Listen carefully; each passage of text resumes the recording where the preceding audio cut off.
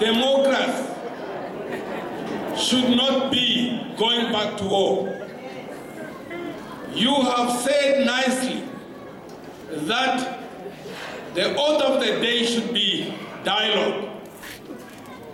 My tribesmen, when I speak, live in fear. They have got their people outside this country.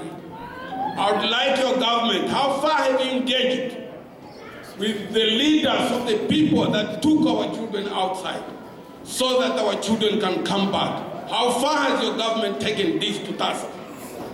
When are you going to dialogue? I told you about land, the foundation that was prepared for us to draft our constitution. Mishake Muyongo was drafter.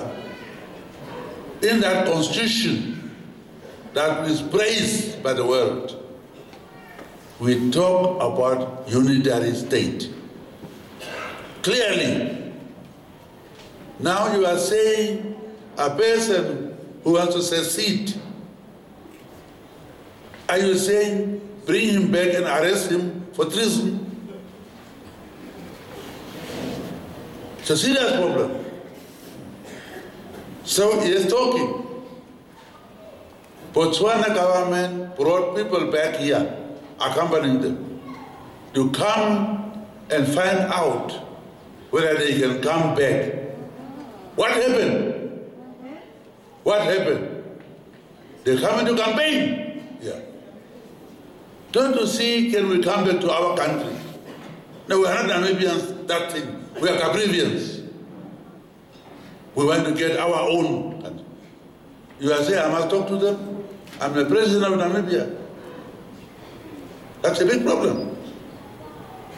You want to come back, some people came back here, home. Those regard this country as their country. They, will, they can come back tomorrow. We'll see to it that they are well received, not ill-treated.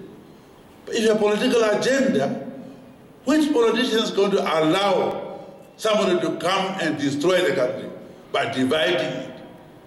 If you say let's have a referendum one day, it's a different thing. To see how many want that. And from what we are seeing, it's a very small minority.